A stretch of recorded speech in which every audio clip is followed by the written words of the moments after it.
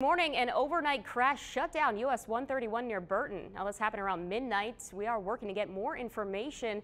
What we do know right now is that at least one car was involved. We're not sure about the extent of any injuries, though. The highway opened up around 3 o'clock this morning.